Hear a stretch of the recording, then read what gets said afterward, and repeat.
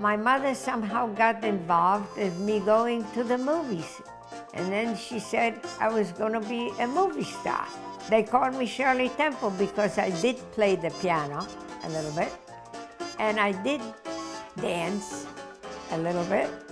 And I did recite poetry. Even sometimes I sang some songs because I was young and I was entertaining.